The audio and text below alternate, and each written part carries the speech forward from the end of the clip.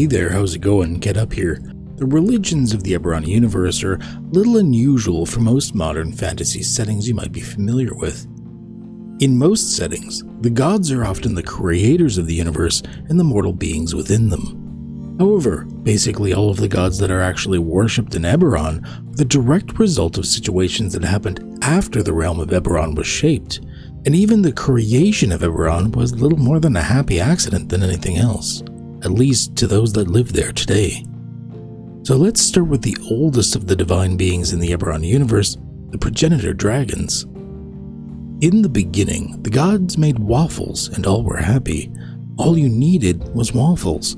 Eat waffles, fight with waffles, dress with waffles. Entire castles were made out of. What? What, what do you mean, wrong book? Oh, is, is this the kids' book? Shoot. Okay, let's try this again. In the beginning, there were three powerful progenitor dragons of Kyber, Eberron, and Siberys, or Cyberus. Ah, hell, I don't know. I'm going to mispronounce things a lot in this video. Through some petty squabbles and experimentation into the fun side of fratricide, the three powerful mega dragon god things became a mix of dead, trapped, and a planet? Although details are sparse, this wasn't exactly a planned thing. Except for some very rare circumstances, the progenitor dragons are not really worshipped by anyone. Literally all the other gods and divine beings of power from this point on were either formed after life had already taken hold upon Eberron, or literally just kind of wandered in from other parts of the multiverse with the same excitement I get when a new restaurant opens up near my house. Wow, I'm fat. So, let's go over some of the major religions of the world. Some follow the gods that ascended after, some follow foreign powers, and some just follow philosophies atheists. I would like to start with one very unique thing in the world of Eberron that isn't really a thing in the other D&D campaign settings, except maybe Dark Sun? In other settings, it's common knowledge that the gods came first. They created the world and then dabbled with making various types of mortals to suit their needs, blah blah blah. But when the world was basically a giant happy accident, and all the gods either wandered in from elsewhere after its creation or were themselves once beings that just happened to attain divine status, suddenly some people just see the gods as just another powerful dude around town. Could a god strike down a commoner with lightning while demanding a sacrifice not to? Sure, but so could that fifth level wizard, and frankly, an angry wizard is probably more of a direct threat to the everyday person. So out of all of the fantasy settings in D&D, this is one of the few ones that could actually have atheists and actually have them be right. This is exacerbated by the fact that, as far as anyone can tell, what you do in life doesn't really matter much in death. Unless you gain real special attention of something or someone powerful, your soul will likely just go to Dolurrh, the plane of the dead, place of hopelessness and apathy, no matter what you've done in life. Fun, right? Thir. This is the ranking system of the gods made by the dragons since the dragons are one of the oldest races to do like writing and shit. The dragons rank the gods in three ways. The progenitors, the dragons gods, because racist much, and the sovereigns, aka basically every other god. The Thir is sometimes used as a short name for the dragon gods of Thir. The dragon gods of Thir are named Io, Aasterinian, Stilibor, Bahamut, Ronepsis, Belazur, Garyx, Hlal, Lendys, Tamara, and Tiamat. Each of these dragon gods also has a corresponding constellation in the sky because, just like in real life, astrology is totally legit and will fix your finances if something or other is in retrograde. Very few individuals outside of the dragons themselves worship the Thir religion, or hell, even really know much about its specifics. The Sovereign Host and the Dark Six. I won't go into the specifics about what they are and where they came from. There's a long story about dragons, demons, Couatl, etc. Little of this honestly matters in your games. What does matter is that the Sovereign Host and the Dark Six the most widely worshipped pantheon of divine entities. Like real world ancient pantheon religions, people rarely worshipped one god over the others.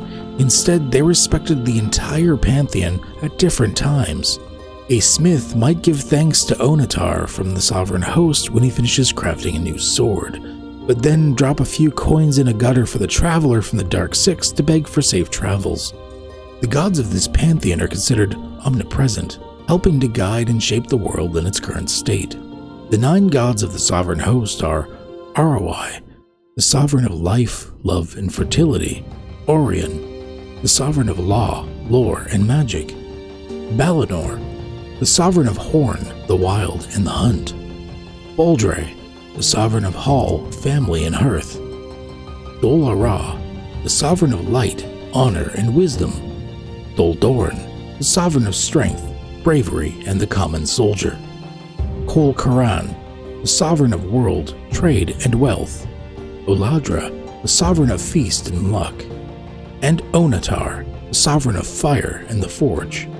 The six gods of the, you guessed it, Dark Six are the Devourer, the Fury, the Keeper, the Mockery, the Shadow, and the Traveler. The Church of the Silver Flame, a divine church that is currently being run by a child that has been touched by the divine. The Silver Flame is an abstract entity of goodness and law. It came into prominence when an ancient hero by the name of Tira Miron did some awesome things and stuff, something I'll go into more when I do a video on this specific religion. Although few know this, the Silver Flame was created during the Age of Demons by the couatls as some sort of crazy Voltron of goodness out of their spirits. Although not as widely worshipped as the main pantheon, its followers are extremely devout, and the entire country of Thrane converted to a theocracy devoted to the religion. The Undying Court. I briefly touched upon this in my elf video. The Undying Court is what happens when you put your elders on such a high pedestal and in such a good retirement home that they just don't die, like ever. They just keep baking cookies and living off these eternally lasting pension checks. The elves like it because your great aunt Flo will always be around and knit you a new cardigan. These undying but not undead elf people have crazy powers, but don't or can't really leave Aerenal, and in fact, almost all of them are in Shae Mordai, aka the City of the Dead. Although, really, it's more the city of the almost dead but not quite there yet. Leave me alone, you're not getting your inheritance, I'm still here. The Keepers of the Past.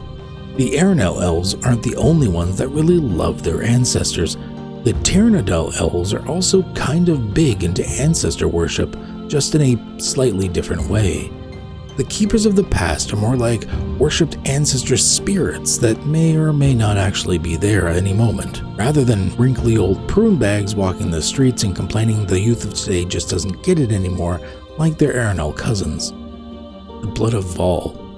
This one is in the gray area between what makes a religion and what makes a cult, but hey, it was good enough for an entire country to fall back on when they were desperate in the last war, so we'll just throw this one into the religion category. The Blood of Vol is interesting in that it doesn't directly worship any powerful divine beings, but instead states that there is a spark of the divine in all creatures. One of the crazy bits of this religion is that they believe it is such a travesty when the divine spark is lost from the world due to death that they kind of have a lot of necromancers. I mean, like, a lot of necromancers. Like, when a worshipper of the blood of Vol says he just wants to raise a family in peace, He's probably talking about what he's about to do in the cemetery with that poor family that just died in last week's house fire. The Blood of Vol believe that Dolurrh, the plane of the dead, is like a terrifying power sink of the divine spark within all mortal beings, and that the best thing one can do is fight against the forces of death. Oh, and they also kind of believe the gods aren't really true gods, but just a bunch of big bully dicks that are browbeating the world and acting how they want. For something often viewed as kind of an evil looking cult, I sympathize with them way more than's probably healthy. They do have several different suborders to the group, including an extremist terrorist organization known as the Order of the Emerald Claw. Path of Inspiration This is the religion of the region of Riedra or Rydra, I have no idea. In some ways, this religion looks much like the Church of the Silver Flame, but a lot more extremist. This religion worships the Il-Altus, or the Great Spirits, who in reality are the Quori, evil nightmare creatures in the dream realm of Dal Quor, not that the populace know that. Worshippers believe that all other faiths worship evil spirits known as the Altivars, and that only their religion is the good one. Most members of the religion are illiterate, with extreme ignorance of the outside world, and only given knowledge via sermons by the priests by day and specialized dreams beamed directly into their heads via the monoliths at night. That's right, 24 7 religious propaganda, not being allowed to learn to read, and basically being told what you can and cannot do. Paradise. The path of light. This order of meditation, self inflection, and balance is almost an enigma to the outside world. Composed primarily of the Kalashtar, this order are those affected by the otherworldly dream beings of the Dal Quor that aren't secretly evil bastards. Needless to say that these guys are in the minority. The Becoming God. Warforged were built for one purpose, it's kind of in their name. So when peace happened and they were suddenly and forcefully given complete freedom with little to no guidance, well, it hasn't gone well. Warforged heard about the stories of ancient divines and thought, hey, I'm pretty handy with a wrench, let's build one of our own. So that's what they're doing. Most of these worshippers gather in the Mournland. They go about gathering materials, parts, and holy items to feed into the great creation. So far, nothing's really happened, but I mean, gods have been made in crazier ways, right? The Druids. This is definitely something that needs its own video. There are so many orders of Druids from all over, some with vital and important roles in history, some that just help the harvest come in on time.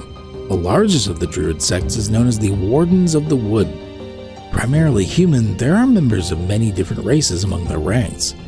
The Wardens of the Wood became so influential that during the last war, they became the governing body of the Eldeen Reaches after it was abandoned by Aundair. The Order attempts to maintain balance between civilization and nature. They make sure towns have lots of green spaces, don't pollute, serve avocado on toast, and probably universally wear their hair up in man buns. I mean, maybe. I don't know. Okay, that's enough for now. This was supposed to be a brief intro to the religions of Eberron, but there's so much information to break down that even this video is starting to get away from me. I'll try to do more videos in the future that focus on the different religions. If you like what I do, don't forget to hit that like button to subscribe if you'd like to support my future endeavors so I can actually have time and finances to make nicer looking and fancier videos, think about maybe throwing a buck or two into my Patreon.